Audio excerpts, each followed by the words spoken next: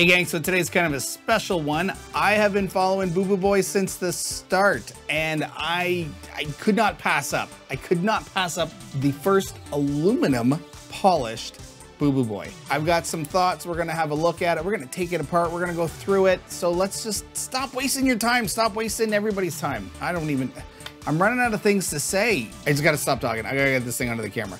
All right, I'm gonna shut up now. We're gonna have a look at this. It's the Boo Boo Boy in polished aluminum. Let's go.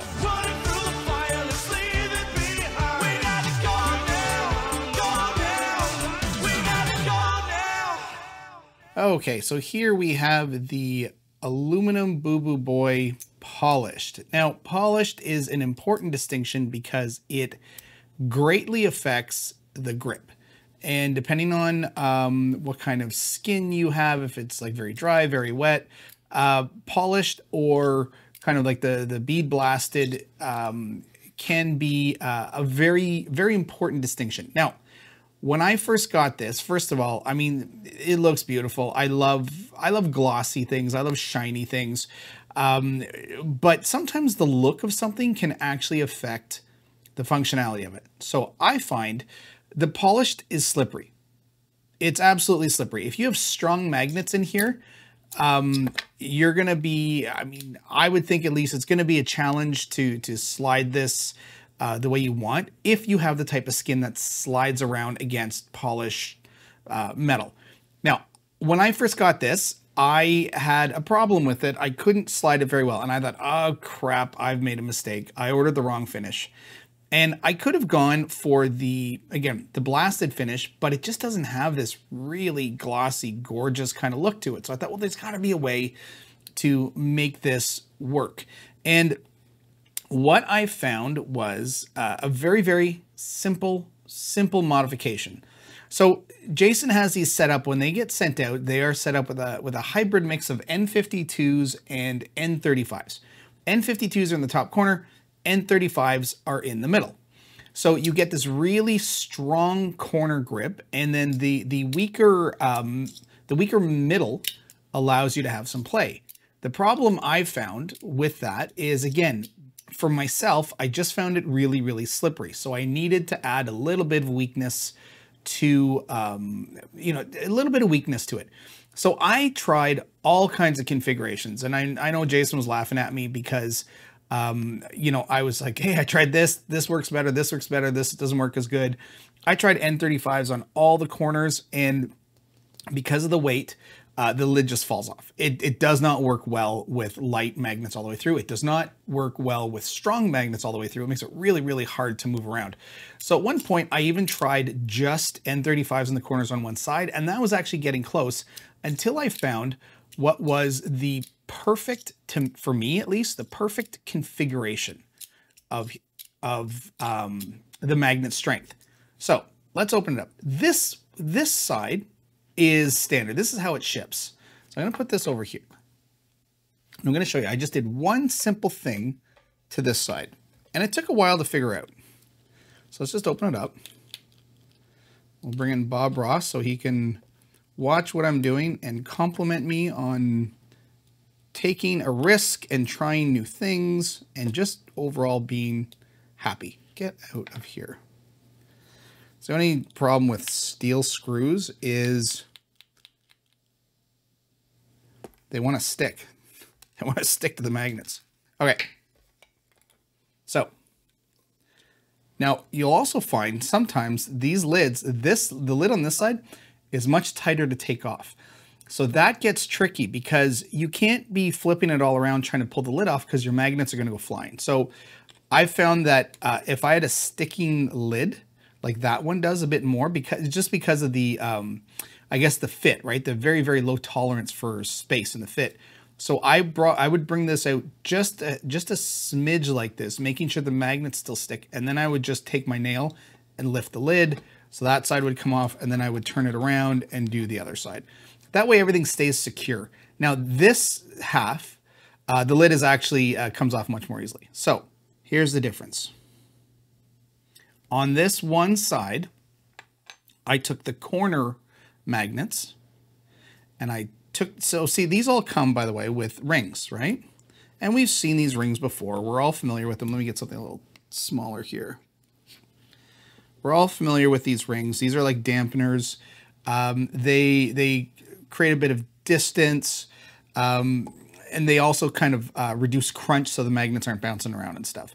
I could take these out and make this super crunchy, but what I did with the rings, so this comes with, again, this is a hybrid setup, N52s and 35s. The way it comes, and if you open up that lid, the way it would look is that all the magnets go in first and then rings are on the top of the magnets. What I did is I took the corner magnets, I took the rings out, took the magnets out, put the rings in first, then drop the magnets back in on one side. That created just enough gap to reduce the strength enough so that it wasn't like really, really tight and really hard to separate. It actually now flows really well. I'm really like, I'm, I'm, I'm, I'm overjoyed at how well this thing works now. So if you open up the lids on these, we get a number. This one came with the Boo Boo Boy dog tag, which I've got in here. So you get kind of like your own numbered dog tag, which is awesome. And you get a couple of, what do we get in here?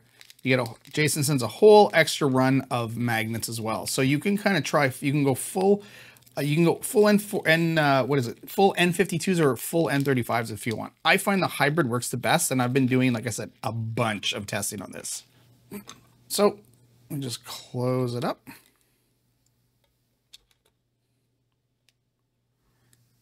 Now the ergonomics of this are great. Um, I was always a fan of the original Boo Boo Boy, the, the 3D printed one, uh, which I still have here, which I can pull out in a second. Uh, so the ergonomics, I always found this was one of his uh, best designs. There's just something about the pushing you get right into the middle here. This, I, I tend to do this a lot, just this little spin and flip.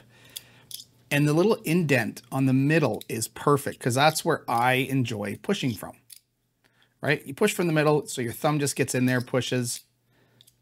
So for laddering, uh, I find this configuration of magnets does still fall sometimes, but again, there's a lot of weight on here. But I find this configuration of uh, magnets is perfect. And I mean, it looks awesome if you go full N52s, uh, the, the lid's not going to fly off as much because it's going to be stuck together uh, very, very solidly, but it just, I find it doesn't flow as nice. So you just, I don't know, there's just something about this little tweak that just lets it, you know, super smooth, I find. Now, will it still fall? Sure, because the weight is still, you know, there's a lot of weight on here. So sometimes you'll end up doing that. But I mean, you get that with a lot of sliders anyways. Here, let's put this up against the 3D version. So there we have the original Boo Boo Boy.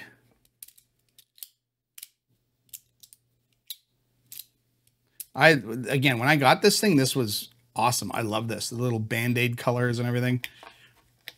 So of course, with the metal, you lose the whole Band-Aid look, but it's great.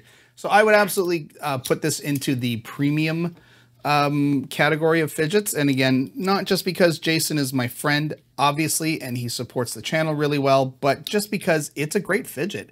It's really well made. And it's like, it's not on an assembly line being pumped out. This is, uh, you know, and by another, like we all love these craftsmen who just kind of sit and make these. Uh, now, Jason doesn't make this himself. He has someone that makes them for him, but these are made uh, in the USA. If that matters to you, I'm from Canada, so it doesn't. But um, I do like that there's a lot of crafting care that go into these. And I know that, um, like all other makers uh, of his caliber, Jason is sort of like, you know, really, really um, uh, poured a lot of blood, sweat, and tears into these to make these um, as good as they are. So I would not hesitate to uh, buy one of these if it's within your budget. Uh, these are 220 so um, again, and you have to get them through the Facebook page and you have to get them on drops. So they're not always available. You just have to sit and wait. And then when a drop pops up, jump on it. So there you go. That is the aluminum polished Boo Boo Boy. All right, gang. Thanks for watching.